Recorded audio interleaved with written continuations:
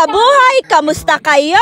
Ngayong araw nga eh, si asawang mag-aasikaso sa mga anak namin kaya siya ang magbablog ngayon. Nayaan nga niya muna ako matulog para makapagpahinga ako. Alam nyo naman, napagod.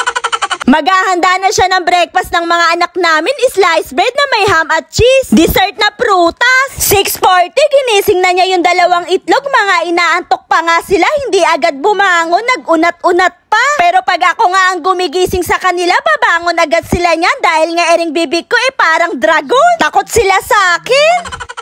Yung niluluto niya sa grill, muntikan pa nga masunog, nakalimutan daw niya.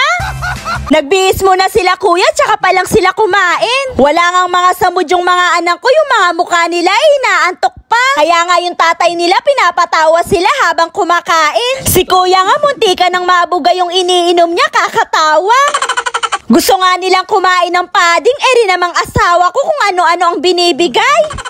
Binigyan ng itlog ng pugo, ng peanut butter, alak, sukiyaki sauce. Sira ulo talaga tong asawa ko, puro kalokohan.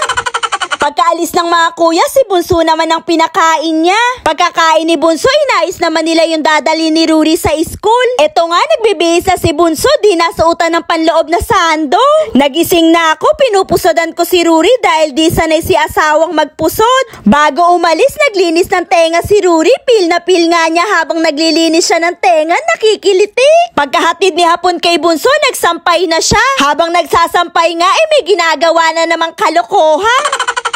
Sinusuot yung panty ko habang nagsasampay. Napakaloko talaga ng asawa ko kaya pala lumuluwag yung garter ng panty ko. Maloko po talaga yung asawa ko pero napakabait niyan at sobrang sweet. Bumangon na ako, nag-breakfast na kami, di nga niya alam na may camera. Nagulat nga siya nung sinabi kong may camera kung ano-ano nga ang hinahawakan sa akin.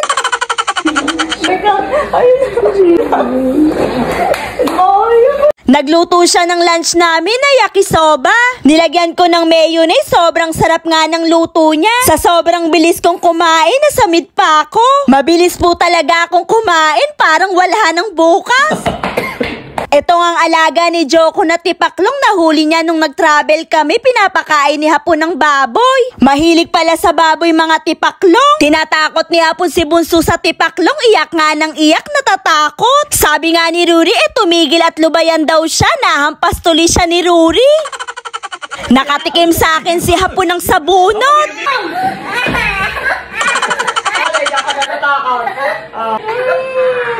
Si Hapon pa din ang nagluto ng dinner namin. Nagluto siya ng macaroni seafood gulatan. Di ko nga ma-share yung recipe dahil nga yung mga clips kahapon di namin napansin na bura namin. Akala namin nakasave na sa Dropbox eh di pa pala. Sa totoo nga ang daming ganap kahapon, ang daming ginawa ni Hapon. Naglinis din siya ng bahay, nagbuhay prinsesa nga ako kahapon, maghapon ako na mahinga.